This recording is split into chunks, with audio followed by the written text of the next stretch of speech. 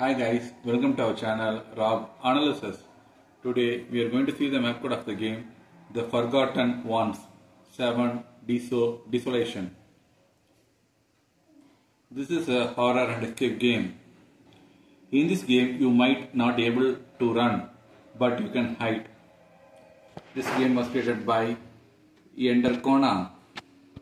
The map code of this game is 8200 7376 6457.